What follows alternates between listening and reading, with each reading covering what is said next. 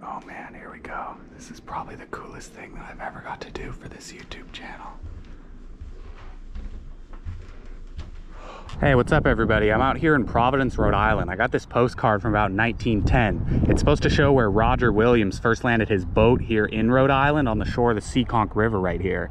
I'm trying to find that monument on the postcard, but I just can't see it anywhere. Like he was supposed to have landed on the shore of the Seekonk and this is the Seekonk, so where is it? Where's the landing spot? Oh, hey, what's this? Wait. That's the monument right there. Where, well, where the heck? You can see that monument from here if you turn around and look across Gano Street between the two buildings on the far side of the soccer field. Okay. What, wait. Well, what the heck is it doing way over there? Yup, here we are at the Roger Williams Landing Monument, a few hundred feet away from the shore.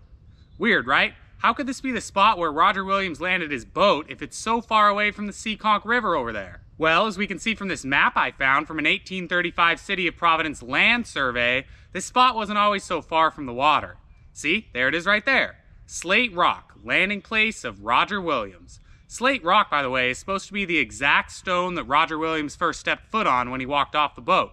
There's about a billion paintings and drawings of it. Like, look, here's one, here's another one, and you know, since you've been listening so politely so far, here's one more, just for you. So what happened, right? Well, in the few hundred years since Roger Williams supposedly landed here, the river has been partially filled in by humans to make room for new buildings and streets and stuff like that, right? This is a process called land reclamation, and it has drastically reduced the width of the Seekonk River at this spot. Here, let's crack open this giant atlas I found at a local library here in Providence and you'll see what I mean. Here's a map from 1881 and look at that.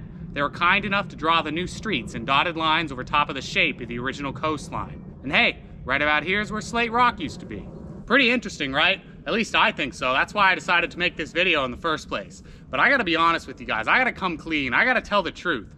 When I originally started putting this video together, I was thinking it was gonna be like two or three minutes tops, right? I was thinking I was gonna show up with my postcard, line it up to the monument, explain the whole land reclamation thing, and bing bang boom, that'd be a video, like two days of work tops, right? But no, I've been working on this video for weeks now. And let me tell you, I've ended up some places I never expected to go, and I did some things to make this video that I never thought I would do. Because the more I looked into the story of Slate Rock, the more I uncovered this whole world of information that I just completely was unaware of. But before we get into all that, we got to start at the beginning. So let's start off with just the simple, traditional story of Roger Williams and Slate Rock. Now, if you don't know who Roger Williams is, that's all right. I'm not going to go too deep into his whole life history or anything like that. That's a whole video for another time. All you really need to know for this story is that he was a minister up in Salem, Massachusetts, who got banished from the whole Massachusetts Bay Colony in 1635, mostly for preaching against the King and Church of England. After his banishment, Williams and a few followers made the long trek down here, over 50 miles, to right around this area, which is modern-day Rumford, Rhode Island. Then they started up a small settlement here for a while until a representative from the Massachusetts Bay Colony came down and was like, Yo, sorry to bother you, but you're actually technically still on the land of the Massachusetts Bay Colony right here, so get the heck out of here. So Williams and his supporters packed up into some canoes and set out into the Seekonk River. Now here's where the story gets messy. Tradition says that as Williams went down the coast here, a bunch of Native Americans from the Narragansett tribe called out to him and hailed him over to the shore. As he landed on Slate Rock, they welcomed him with a little greeting. What cheer, Netop? Which is basically just kind of like a hodgepodge of Old English and Narragansett language. Basically, it just means, what's up, buddy? Anyway, though, they talked for a bit on top of the rock, and then Williams took off and sailed around the shoreline here and ended up landing for good, right around here, where he established the town of Providence, Rhode Island. And that's the tradition. But I gotta tell you, there is a ton of debate over whether the whole thing shook down like that. Modern historians are very divided on this story, and it's not just some new debate either. As long as there has been writing about Slate Rock, there has been disagreement about it. Take it from me. I spent a whole lot of time in Providence, Rhode Island's, you know, local libraries and stuff like that, doing research for this video, trying to quietly unfurl the most gigantic, crinkly maps I've ever seen in my entire life without annoying the rest of the library.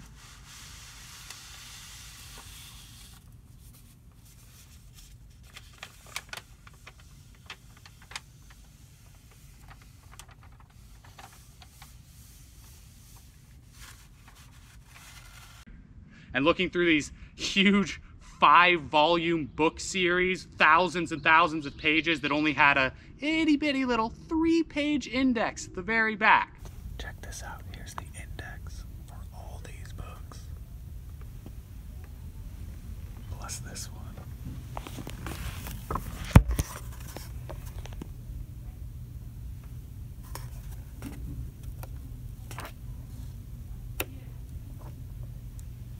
But it was all worth it because I found so many different accounts of this Slate Rock story and Roger Williams' uh, landing in Providence.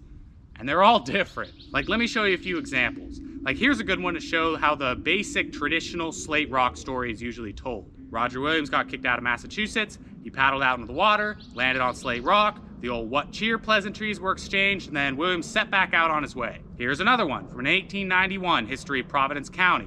Landed, exchanged greetings, what cheer, the whole nine yards. I should mention, by the way, that What Cheer has become a bit of a slogan for the city of Providence, to the point where it's even enshrined on the city's official seal. Anyway, though, one thing that's pretty easy to spot when you're reading these accounts of the Slate Rock story is that the majority of them that tell that traditional story almost always start with something like, according to local legend, blah, blah, blah, or the story that's been passed down is blah, blah, blah, traditionally blah blah blah you know it always starts with some little qualifier like that which leads us into probably my favorite little thing i found looking through all these history books. It's from a history book written in 1920 the author is talking about roger williams going across the seekonk here and he says the earliest tradition the date has not been accurately ascertained. It is a matter of conjecture. This interpretation it is possible the theories meager records, unauthenticated copy of a deposition are the staple introductions to all the probable or improbable stories of that water journey. So he's like literally making fun of how every single account of this Slate Rock story has to start off with some kind of you didn't hear this from me kind of thing, right?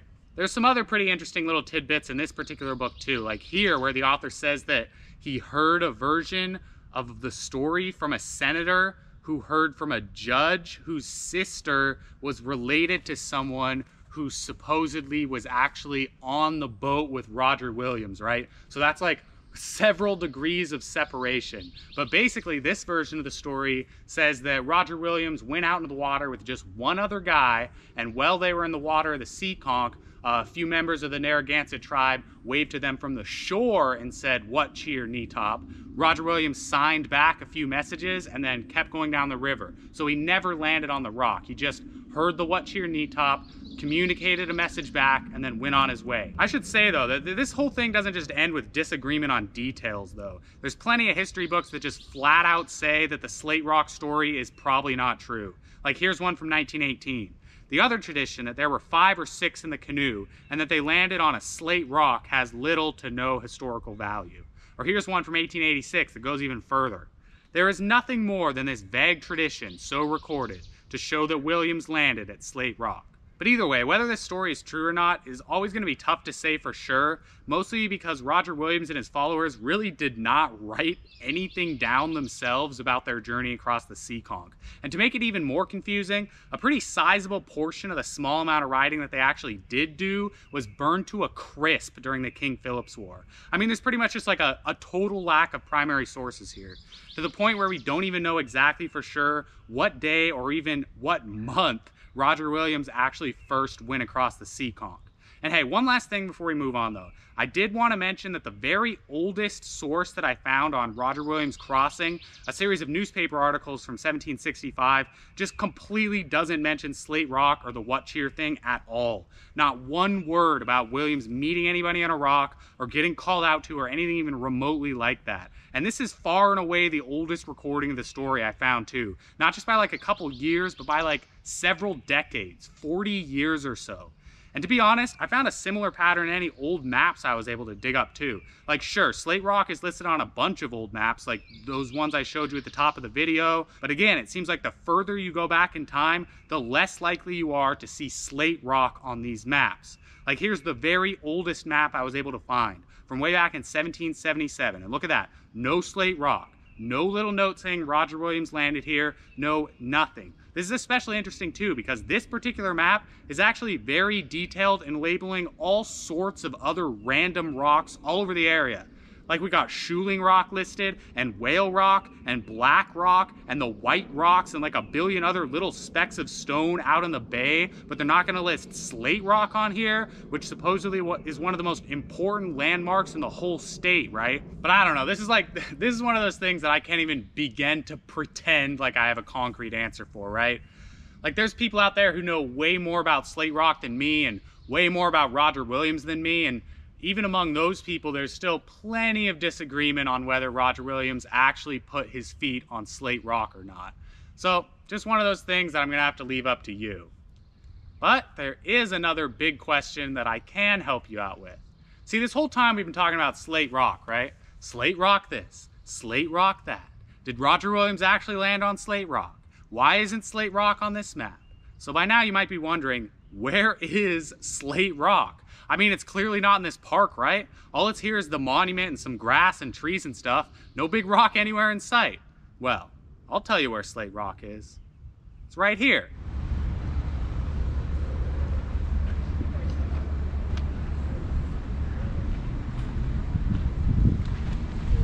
In the base of this bear statue at Brown University.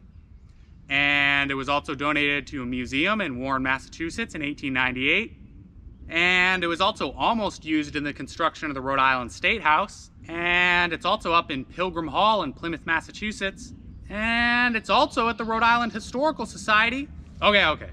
So how did Slate Rock end up in so many places, right? Well, in 1877, they blew it up with dynamite. Not kidding. And to make matters even worse, they blew it up with dynamite while they were trying to construct the park to commemorate Slate Rock. So they're literally building a park to try to show off this cool little feature of Rhode Island history, and they blow up the feature. So people just kind of like collected all the little pieces of it that were left over from the blast and started building them into things, like that statue, or putting them in museums. I even read something that said that stores in Providence used to sell little pieces of Slate Rock to tourists as souvenirs. Oh, and if you're wondering why they were using dynamite to try and build a park in the first place, it's because Slate Rock, like the Seekonk River, had fallen prey to land reclamation.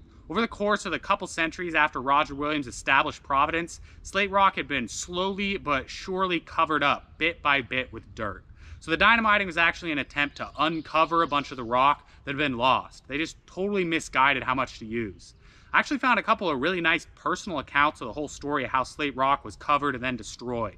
Like here's a good one where the author describes a day in 1845 where his father took him to Slate Rock and showed him the names that he and his uncles had carved into the face of the stone. When the author returned years later in 1880, the rock had been reduced to bits, with all the pieces with people's names on them distributed back out to the original carver.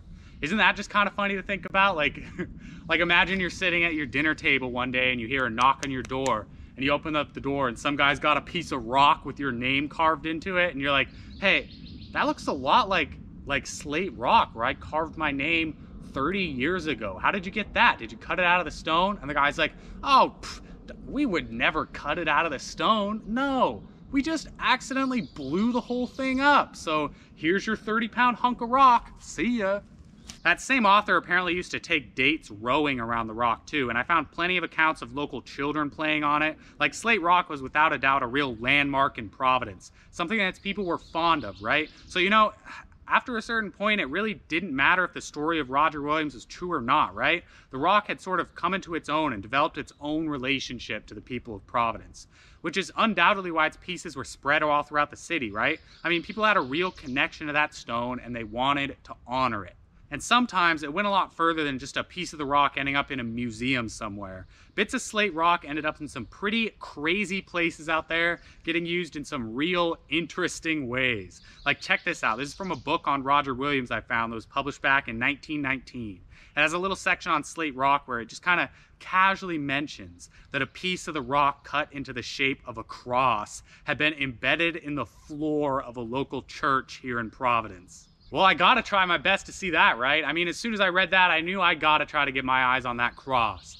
So, first thing I did is I tracked down which church it was and I gave him a ring, a couple rings actually. I left a message and no response, ever. I called him a couple times over the course of a couple days, never got a response. So I thought, all right, I'll just show up. So I showed up during the hours when the church was supposed to be open. I walked right up to it. Gorgeous church, by the way. I should probably add that.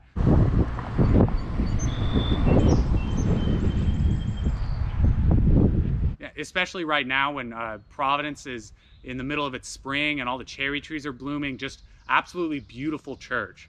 But anyway, I walk up to the door, I crack it open, I walk inside, and pitch black, completely dark. So I'm just standing there just inside the doorway, right? Dead silence. I let out a couple feeble hellos. Hello? Hello? No response. So I just kind of turned around and went back out the door because I'm not about to just creep around an empty church by myself, all right? So you might be thinking, all right, well, what else can I do from this point? And for a bit, I was thinking that too. I was thinking, no way am I going to get to see this cross now. But there was one option left. And you know, I don't give up easily. So I suited up in my Sunday best and I headed off to service. I mean, what else am I going to do? I'm not going to sneak around the church uninvited, so I got to go there at a time when I know the lights are going to be on and I know that I will be welcomed in. So there I am in front of the door, right? And I put my hair down to the side, I tuck in my shirt, put on a big smile, and walk in the door of the church. Right away, everyone's so welcoming and kind and everything to me. Welcome, greetings, come on in, that kind of stuff, you know? And I'm saying, hey, thank you, thank you. And the whole time I'm like covertly looking around at the floor, trying to get an eye on where the cross might be, right? And then all of a sudden, boom, there it is, like maybe 10 feet away from the main door of the church. Like when I walked in there in the darkness, I was probably standing on top of it for a second. I just couldn't see it because it was so dark in there, right? So there's the cross. And so I just kind of stood there for a moment and I really gazed at it and memorized it, make sure I knew every detail. And then I drew this picture afterwards so you could see what it looked like. See, you might be thinking I was going to sneak in there with my camera and covertly record the inside of the church and the, the service and everything. But A, that might be illegal, especially putting it on YouTube. And B, I don't I really don't like filming things without people's permission. And especially I don't like filming people without their permission. So you're just going to have to settle for my recounting the tale on this one. But anyway, this is about what the cross looked like, right? Maybe about three feet tall, big hunks of the rock on each side and in the middle.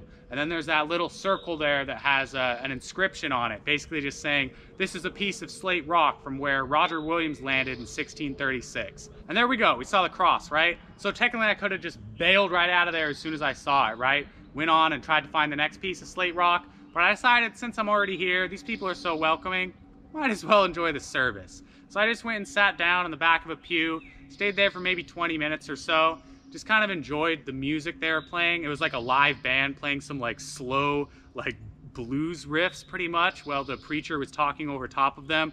Everyone still, while I'm sitting there, is giving me big smiles. One old lady came up behind me, gave me a big double shoulder squeeze before she went and walked down. And like I said, hung out for 20 minutes, and then I slipped away out the back of the door. But hey, guess what? That's not all. See, you probably thought that that was what I was talking about at the top of the video, right? That that was the crazy place I went. And don't get me wrong, that was definitely the first time that I've ever gone to church for a video. But it gets even more wild than that. Check this out. It's the proceedings of a meeting of a Rhode Island Freemason lodge held way back in 1860. And look at this. The latest idea that possessed the minds of the members was to set up in their lodge room two ashlars cut from the rock upon which Roger Williams first stepped when he landed in Providence. Now that's some pretty serious stuff, right? Keep in mind this is 1862. Like the stone wasn't actually dynamited until 1877. So they just literally went down there and cut some giant hunks out of slate rock all on their own, right? Pretty wild thing to do. And look at this, I found another reference to those stone ashlars too. This one from an issue of a Freemason magazine written in 1897 there are two fine specimens of the original What Cheer rock shown in the main hall of the new Masonic building in Providence. All right, so as you can probably guess, I read that and I was thinking, I gotta do everything in my power to see if I can find at least one of these ashlars, right?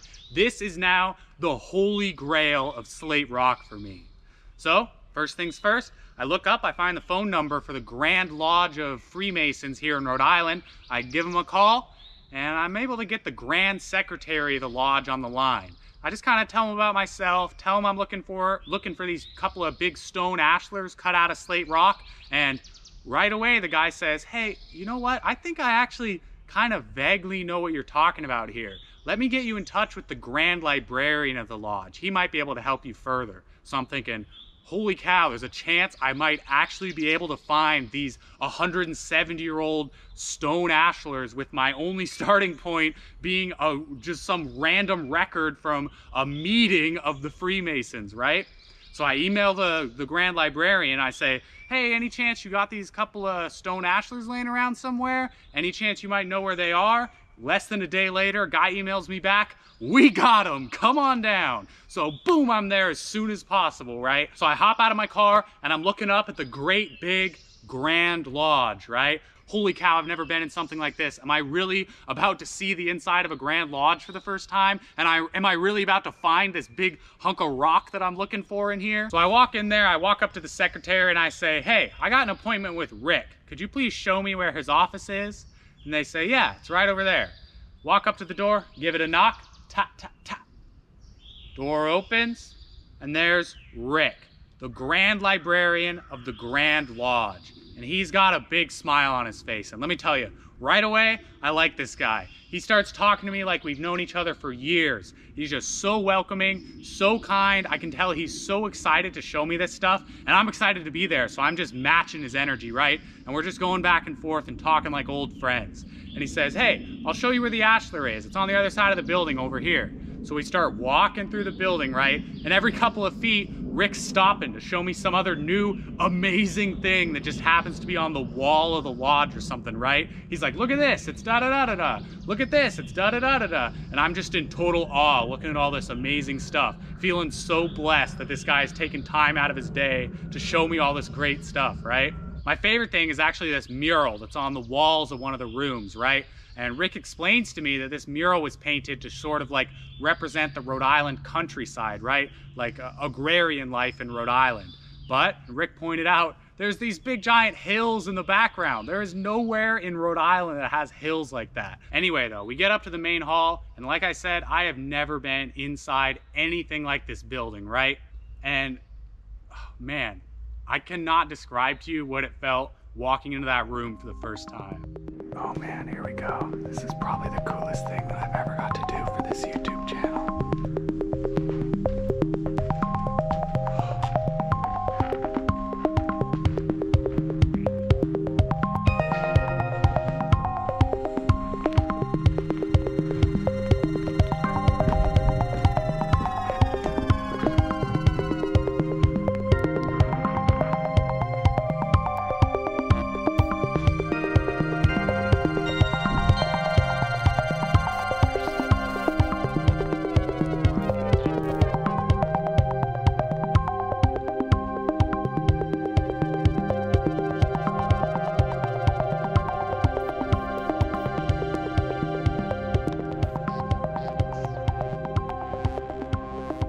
There's these massive chairs for the leaders of the lodge to sit in, big, beautiful murals, this really cool, like moody lighting in the whole building. It, it just really spectacular stuff.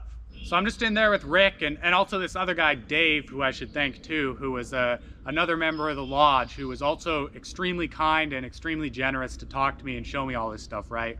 And both these guys are just you know, a wealth of knowledge. I'm asking them all these questions and they're answering everything and they tell me that I can take shots of anything I want in the whole building, right? So I'm just in there going to town, getting all these great shots. And the whole time, Rick and Dave are like, they're doing their best to help me great get great shots right it was really fun like rick even offered to hold the camera for me so i can get some shots of me walking around the hall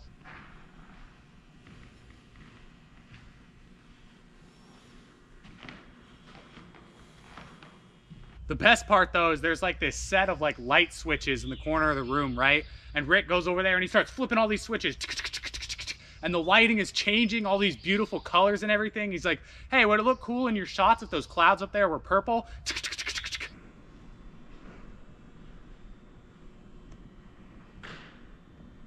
And what do you know? It looks awesome. He's like, hey, would it be cool if we had lights over here and lights over here? Would it be cool if like the the window had like a, a blue light behind it? Would that look cool?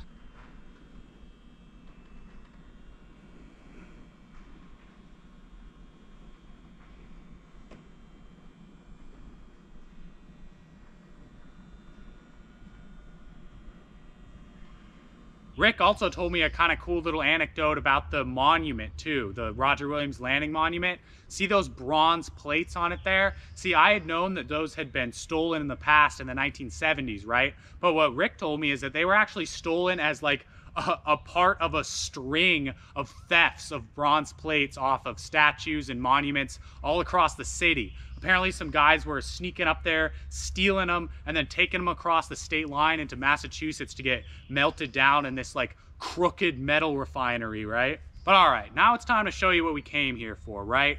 The Ashlar cut from Slate Rock. This marble slab was presented by P.M. Thomas Wilmar. This stone was cut from the rock upon which Roger Williams, the founder of the state of Rhode Island, landed in Providence, AD 1636, and presented to Roger Williams Lodge, number 32, AF and AM, by brother Frank C. Angel, to commemorate an important epoch in history, and as a fit token of esteem for the one after whom this lodge received its name. So how do we wrap this up, right? Like, what's the takeaway here? Well, I'd like to go back to where we started, the monument.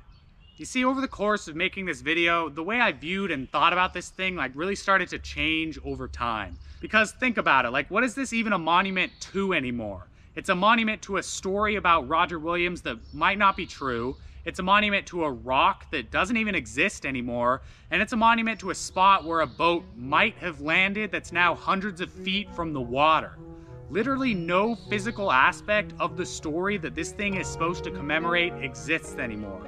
Nothing. But does that really matter? Because would I've even decided to make this video if I didn't see that monument first? And what I've got to see the inside of that beautiful church, what I've got to learn about this great debate over Providence's history, what I've got to meet Rick and see a Grand Lodge for the first time in my life? Probably not, right? So big fella, I don't really care that you're not really a monument to anything anymore. Still mean a lot to me. So thank you. And thank you for watching.